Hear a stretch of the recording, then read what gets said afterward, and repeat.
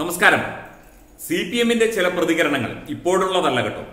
പഴയ ചില പ്രതികരണങ്ങൾ ചിലപ്പോൾ പ്രേക്ഷകർ ഓർക്കുന്നുണ്ടാകും. അജ്മൽ അമീർ കസബ് എന്ന കൊടും ഭീകരൻ. ഇയാളെ തൂക്കിക്കൊന്നതുമായി ബന്ധപ്പെട്ട് ഇയാൾ മുസ്ലിം ആയതുകൊണ്ടാണ് ഇയാളെ തൂക്കിക്കൊന്നത് എന്ന് പറഞ്ഞ ഒരു മഹാനെ അറിയുന്നു. വേറെ ആരുമല്ല അന്നത്തെ പൊളിറ്റ് ബ്യൂറോ അംഗം ഇന്നത്തെ C P M general secretary Sitaram Yechury എന്ന വ്യക്തിയാണ് അത്. അപ്പോൾ സി പി എമ്മുകാരുടെയും സി പി എം നേതാക്കളുടെയും ഒക്കെ ഭാരതത്തോടും അല്ലെങ്കിൽ ഭാരതീയ രീതികളോടും ഉള്ള ആ ഒരു മനസ്സ്. മനഃപൂർവം പ്രശ്നങ്ങൾ ഉണ്ടാക്കുന്നതിനായി അവരുടെ യഥാർത്ഥ മുഖം അവർ തുറന്നു കാണിക്കുന്നു എന്ന് മാത്രമേ ഉള്ളൂ. ഇന്ത്യയെ തകർക്കാൻ ശ്രമിക്കുന്നവരെ അനുകൂലിക്കുകയും അവർക്ക് പിന്തുണ കൊടുക്കുകയും ചെയ്യുന്നതാണ് സി പി എമ്മിന്റെ പതിവ് ശൈലി. സായുധ വിപ്ലവത്തിലൂടെ ഇന്ത്യയിൽ അധികാരം പിടിക്കണം എന്ന് ആഹ്വാനം ചെയ്ത പാർട്ടിയാണ് ഇപ്പോൾ ഈർക്കിൽ ആറായി കീറി മുറിച്ചതിന്റെ വലിപ്പം പോലും ഇല്ലാതെ ഈ കേരളത്തിന്റെ ഈ മൂലയിൽ ഇങ്ങ് ഒതുങ്ങിക്കൂടുന്നത്.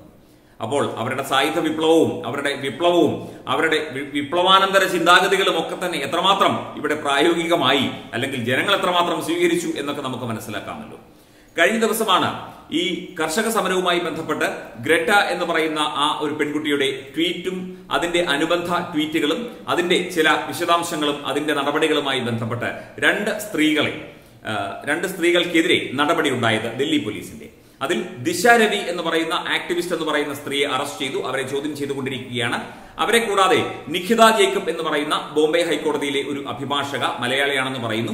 അവർ അവർക്കെതിരെയും ജാമ്യമില്ലാ വാറണ്ട് പുറപ്പെടുവിച്ചിട്ടുണ്ട്. മാത്രമല്ല അവരുടെ മൊഴി രേഖപ്പെടുത്തി എന്നു എന്നുമാണ് നമുക്ക് മനസ്സിലാകുന്നത്. അവരുടെ അറസ്റ്റ് ഉണ്ടായോ എന്നറിയില്ല. ഉടൻ ഉണ്ടാകും എന്ന് കേൾക്കുന്നു. അറസ്റ്റ് ഔദ്യോഗികമായി രേഖപ്പെടുത്തൽ. അപ്പോൾ ഇതുമൊക്കെയായി ബന്ധപ്പെട്ട് സി ചില രസകരമായ പ്രതികരണങ്ങൾ. രാജ്യത്തെ തകർക്കാൻ ശ്രമിക്കുന്നവരെ അവർക്ക് സ്തുതി പാടുകയാണല്ലോ സി പി എമ്മിന്റെ പ്രധാനപ്പെട്ട ജോലി. വെറുതെയല്ല ഈ പാർട്ടി ഇങ്ങനെയായി പോയത് എന്ന് നിങ്ങൾക്ക് തോന്നുന്നുണ്ടെങ്കിൽ ഞങ്ങൾ തെറ്റ് പറയുന്നില്ല. ഇന്ത്യ വിരുദ്ധ ടൂൾ കിറ്റ് ഗൂഢാലോചന കേസിൽ അറസ്റ്റിലായ ദിശ രവി എന്ന സ്ത്രീ കൊച്ചുകുട്ടിയാണ് എന്നും ഇവരെ ഉടൻ വിട്ടയക്കണമെന്നുമാണ് സി പി എം ഇപ്പോൾ പറയുന്നത്. ദിശയ്ക്ക് ഇരുപത്തിയൊന്ന് വയസ്സാണ് പ്രായമെന്നും ഉടൻ വിട്ടയക്കണമെന്നും C P M polit bureau ഔദ്യോഗിക പ്രസ്താവനയിലൂടെ ആവശ്യപ്പെട്ടു.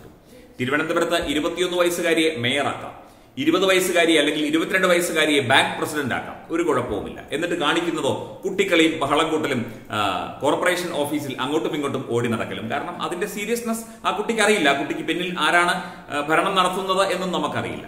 ഈ കുട്ടി കൊച്ചുകുട്ടിയാണ് പണ്ട് നേരത്തെ കുറച്ചു കാലങ്ങൾക്ക് മുൻപ് കോഴിക്കോട് പന്തീരാഗവ കേസുമായി ബന്ധപ്പെട്ട് വാവ കൊച്ചുകുട്ടി അതായത് റെഡ് വോളണ്ടിയറായ വാവ ഈ മാവോയിസ്റ്റ് ചിന്താഗതികളും അതുപോലെ തന്നെ വിഘടനവാദവും ഒക്കെ പറഞ്ഞു നടക്കുന്നവരൊക്കെ കുഞ്ഞു വാവകളാണ് എന്ത് പറയുക തൊട്ടിലിൽ കിടത്തി ഉറക്കുന്ന പാൽ കുടിക്കുന്ന വാവകളാണ് എന്നൊക്കെ പറഞ്ഞത് ഓർക്കുന്നു. എന്തായാലും സി പി എമ്മിന്റെ ആ ഒരു സ്റ്റാൻഡേർഡ് അവരുടെ ആ ഒരു മഹത്വം അതാണ് എന്നാണ് കാണിക്കുന്നത്. കൊച്ചുകുട്ടിയാണ്. കൊച്ചുകുട്ടികൾക്ക് എന്തും ആകാമോ? ഇരുപത്തിയൊന്ന് വയസ്സ് എന്ന് പറഞ്ഞാൽ വോട്ടവകാശം ലഭിച്ചു കല്യാണം കഴിക്കാൻ പ്രായവുമായി. എന്നിട്ടും കൊച്ചുകുട്ടി എന്ന് പറയുന്നതിനോട് എങ്ങനെ യോജിക്കാനാണ് സഖാക്കന്മാരെ?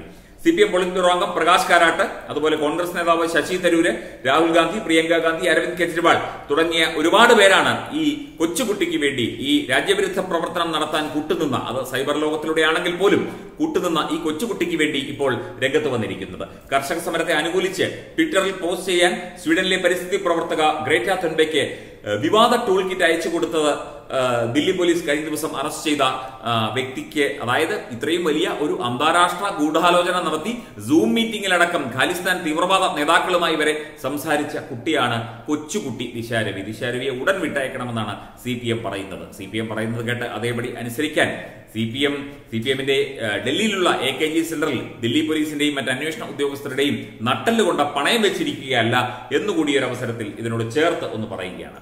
ഈ ടൂൾ കിറ്റിൽ കർഷക സമരത്തെ അനുകൂലിച്ച് വിവിധ കമ്പനികളിലും അതുപോലെ വിവിധ കേന്ദ്ര സർക്കാർ സ്ഥാപനങ്ങളുടെയും മുന്നിലൊക്കെ എംബസികളിലുമൊക്കെ സമരം ചെയ്യാൻ ആഹ്വാനം ചെയ്തുകൊണ്ട് ജനങ്ങളെ ആഹ്വാനം ചെയ്തുകൊണ്ടുള്ള ട്വീറ്റ്. അതാണ് ഈ ടൂൾ കിറ്റ് ടൂൾ കിറ്റ് എന്ന് പറഞ്ഞാൽ അവരുടെ ഒരു പാക്കേജാണ് അപ്പോൾ നമുക്കറിയാം ടൂൾ കിറ്റ് എന്താണെന്നുള്ള കാര്യം. അപ്പോൾ ഇത്തരത്തിൽ ഉള്ള നയങ്ങളാണ് സി പി എം പിന്തുടരുന്നത്. ഇവിടെ രാജ്യത്തിനെതിരെ ആരെന്ത് ചെയ്താലും അവരെ ഉടൻ വിട്ടയക്കണം.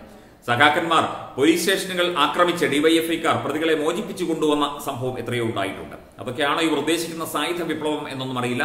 എന്തായാലും യെച്ചൂരി മാമന്റെ മരുമകളാണ് കൊച്ചുമകളാണ് ദിശാരവി എന്ന് ഇവിടുത്തെ ജനങ്ങൾക്ക് അറിയില്ലായിരുന്നു. എന്തായാലും ഇത് അന്താരാഷ്ട്ര ഗൂഢാലോചനയുടെ അതുമായി ബന്ധപ്പെട്ട കേസാണ്. അത്ര പെട്ടെന്നൊന്നും ഇതിനകത്തുനിന്ന് ഊരിപ്പോരാൻ പറ്റില്ല. സി പി എമ്മുകാർ ഇവിടെ രാജ്യം തകർക്കാൻ ശ്രമിച്ച അജ്മൽ അമീർ കസബിനെ പോലെയുള്ള ആൾക്കാർക്ക് വേണ്ടി വാദിക്കുന്ന പാകിസ്ഥാൻ ഭീകരവാദികൾക്കും ഖലിസ്ഥാനികൾക്കും രാജ്യവിരുദ്ധ ശക്തികൾക്കും മത തീവ്രവാദികൾക്കും വേണ്ടി വാദിക്കുന്ന ഇടത് ജിഹാദി കൂട്ടായ്മയുടെ ഏറ്റവും ശക്തമായ രീതിയിൽ മുമ്പോട്ട് രാജ്യത്തെ തകർക്കാൻ ശ്രമിച്ചു കൊണ്ടുപോകുന്ന സി പി എം അടക്കമുള്ള പ്രസ്ഥാനങ്ങൾക്ക് ഇതൊന്നും മനസ്സിലാക്കാനുള്ള മൂളയില്ലാഞ്ഞിട്ടല്ല. അവർക്ക് രാജ്യത്തിനെതിരെ നിന്നേ പറ്റൂ രാജ്യത്തിനെ തകർത്തേ പറ്റൂ എന്നിട്ട് അധികാരം കൈയാളാനുള്ള ശ്രമമായിരിക്കും ഇത്. എന്തായാലും ഇതൊക്കെ വെറും മണ്ടത്തരങ്ങളായി മാത്രമേ ജനങ്ങൾ കാണുന്നുള്ളൂ എന്ന് മനസ്സിലാക്കുക. പക്ഷേ ഒരു C P M C P M എന്ന പാർട്ടിയുടെ ആ ആത്യന്തികമായ ലക്ഷ്യം ആത്യന്തികമായ മനസ്സ് ഇന്ത്യക്കെതിരെ നിൽക്കണം എന്നുള്ള മനസ്സ്. അന്താരാഷ്ട്ര ഗൂഢാലോചനയെ പോലും കൊച്ചുകുട്ടിയുടെ വികൃതിത്തരമായി കാണുന്ന ഇതൊക്കെ എങ്ങനെ അംഗീകരിക്കാൻ സാധിക്കും എന്ന് ഈ സഖാക്കന്മാർ ഒന്ന് പറഞ്ഞു തന്നാൽ വളരെ നന്നായിരുന്നു. വെബ് ഡെസ്ക് തത്തുമൈ ന്യൂസ്